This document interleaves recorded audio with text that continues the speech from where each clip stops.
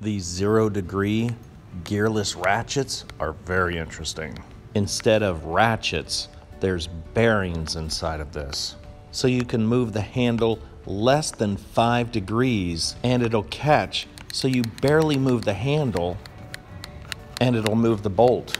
It's amazing how little you can move the handle and still advance this ratchet. Snap-on makes one of these for about $150.